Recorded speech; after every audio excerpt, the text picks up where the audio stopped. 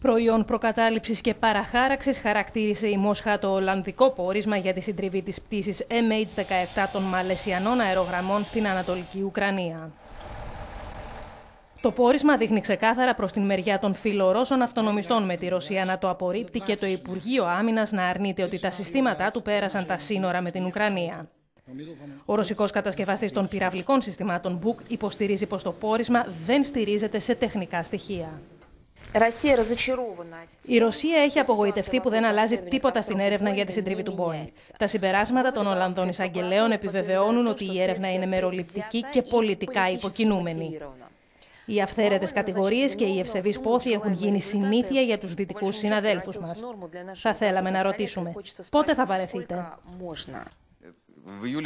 Η υπόθεση της συντριβής του αεροσκάφου της Malaysia Airlines πάνω από τον Ντόνετσκ είχε εξ αρχής γίνει άλλο ένα πεδίο αντιπαράθεσης με τη Μόσχα σε σχέση με την Ουκρανική κρίση.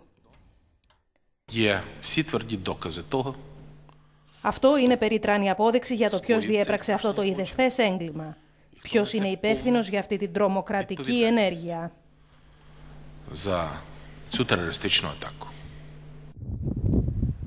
Το αεροπλάνο της Malaysia Airlines που εκτελούσε την πτήση από το Άμστερνταμ στην Κουάλα Λουμπούρ είχε συντριβεί στην Ανατολική Ουκρανία στις 17 Ιουλίου του 2014.